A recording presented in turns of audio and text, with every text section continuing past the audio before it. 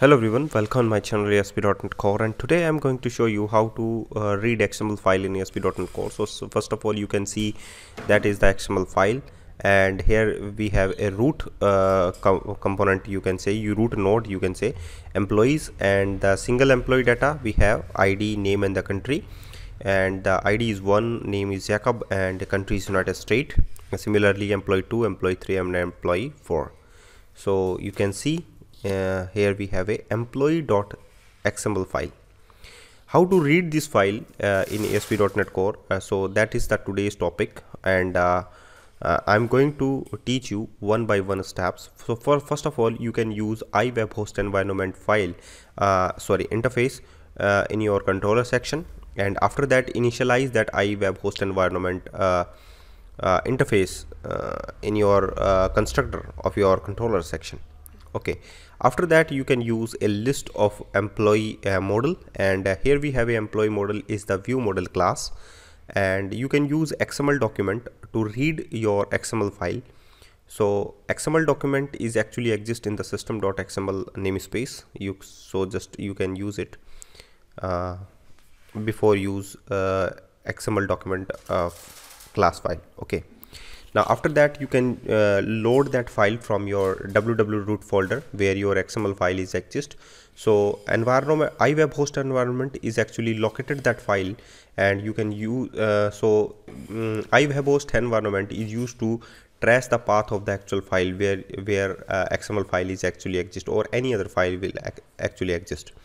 So after that you can uh, load uh, doc.load method to load the file xml file and one by one you can uh, use uh, by using for each loop of the xml nodes. So here we have a file of uh, uh, employee model. So here is the uh, employees and employee is the node of the um, xml file. So you can use it here.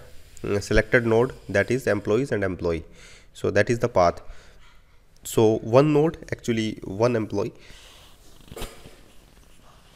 And uh, after that um, uh, traverse that uh, node one by one by using their for each loop and inserted that one by one data into the uh, view model class.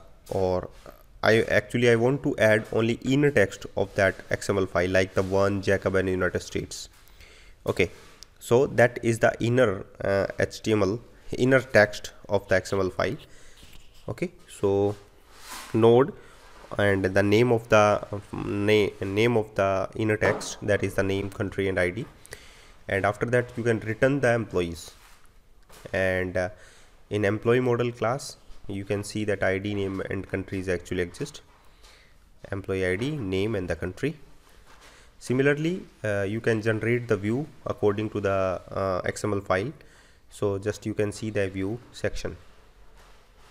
And just go to the home and index.cshtml file and where we have employee id name and the country and one by one data iterate uh, and uh, uh, run on your uh, browser easily. So that method is used to read xml file in asp.net core. So you can use it and uh, read the xml file. And just after that we can create the xml file by using asp.net core and uh, you can see uh, both method existing at here. Okay?